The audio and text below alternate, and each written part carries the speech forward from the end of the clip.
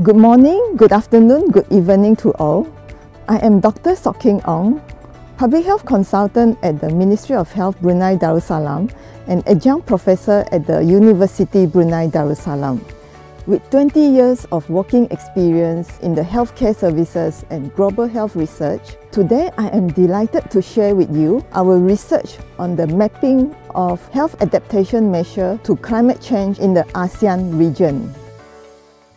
ASEAN is home to an estimate of 700 million people, and our region is particularly vulnerable to the health impacts of climate change. Our research focuses on understanding how ASEAN countries adapt to health challenges due to climate change. Working with scientists from across ASEAN, we systematically review scientific literatures and data on those related to sustainable development goals. Whether countries have national plans or policies on health adaptation to climate change. Whether surveillance is in place for high burden health conditions such as mental health, heat stress, chronic diseases, injuries from extreme weather, vector borne diseases, water and food borne diseases.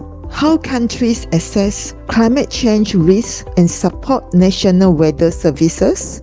What preparation are in place to respond to health emergencies related to climate change, such as the international health regulations, in the context of climate change adaptation and resilience? What are the capacities of our healthcare systems to cope with climate change, shifting from reactive to preventive measures? I'm Jaen. I worked with Dr. Ong when I was a medical student studying in Brunei.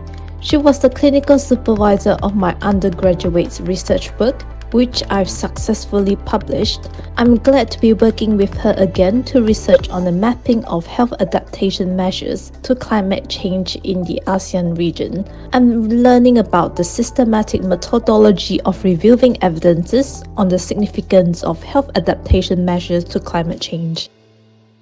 Our research aims to provide insights and guidance for the policymakers, health practitioners, and communities in developing effective strategies to protect public health from climate change. By understanding these factors, our goal is to help ASEAN countries improve their resilience to climate change, better prepare and adapt to reduce health risks, build stronger communities for our people and future generations of ASEAN.